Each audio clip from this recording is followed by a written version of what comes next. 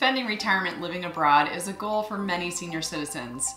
In fact, over half a million people who live outside the United States receive Social Security benefits. When you are a U.S. citizen and live overseas before Medicare age, you need to know when to enroll in Medicare when living abroad. Many people aren't sure if they need Medicare while living in another country. Still, you could face a lifetime penalty if you miss your Medicare enrollment without credible coverage, so here's what you need to know.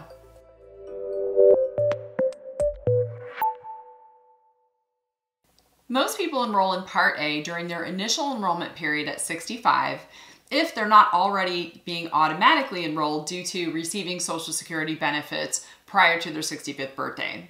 Having Part A coordinate with your employer coverage could reduce your spending in the event of an inpatient hospital stay. However, some people delay their Part A enrollment past 65 if they have creditable coverage and they also wish to continue contributing into health savings account.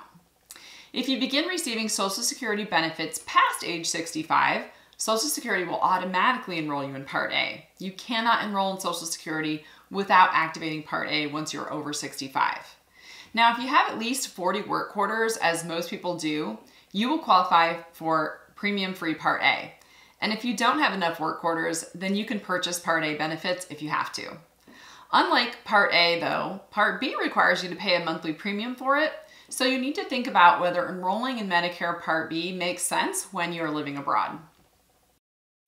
Because Medicare Part B has a monthly premium, many people will delay their Part B enrollment while they have creditable coverage from a large employer. That employer coverage already pays for outpatient services, so they usually don't want to spend additional money for Part B while they are also still working. However, this decision can be tricky when you live abroad. You may not be working for an employer. Perhaps you have retired early to enjoy life abroad.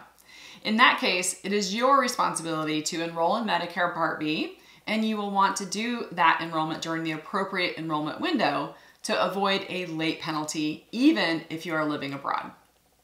The first enrollment window is your initial enrollment period. This seven month window starts three months before your 65th birthday and ends three months after your 65th birthday month. Suppose you don't have credible employer coverage to delay Part B. In that case, you will need to enroll in Medicare during this window to avoid a lifelong late enrollment penalty.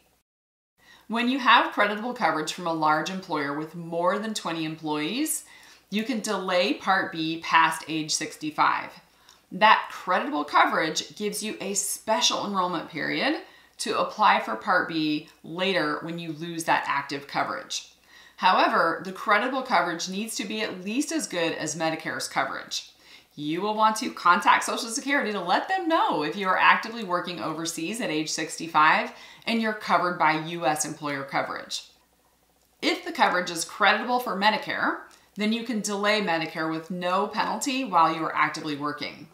It's also possible that you may have national health insurance in the country where you are living, and that may be creditable for Medicare.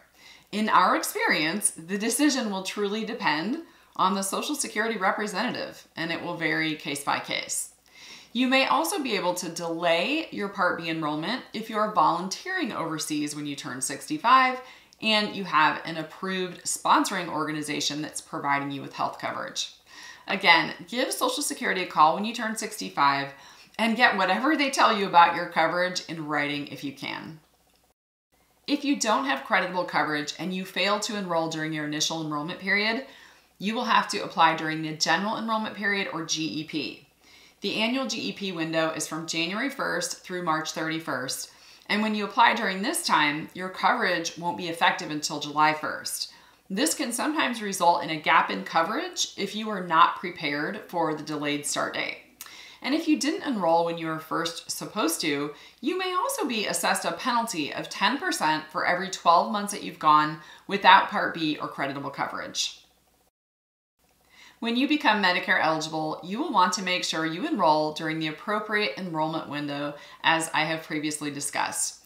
If you have Part A and Part B and you return to the US, you will qualify for a special enrollment period to apply for a Part D drug plan or a Medicare Advantage plan.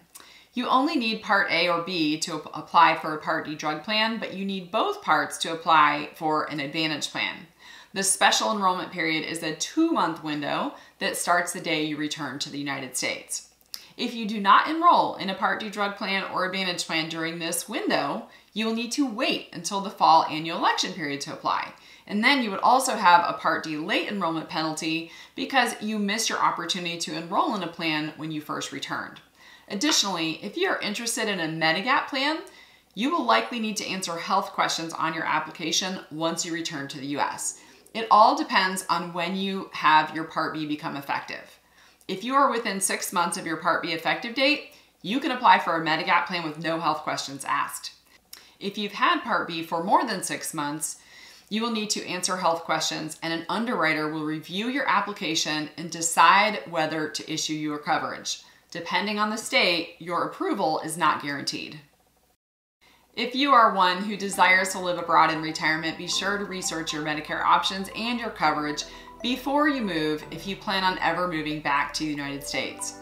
It's important to know the Medicare enrollment process when you're living abroad and returning can be complex. You do not want to get stuck with a penalty if you return to the United States sometime in the future. If you need help evaluating your options, get connected with an agent here at Boomer Benefits for assistance.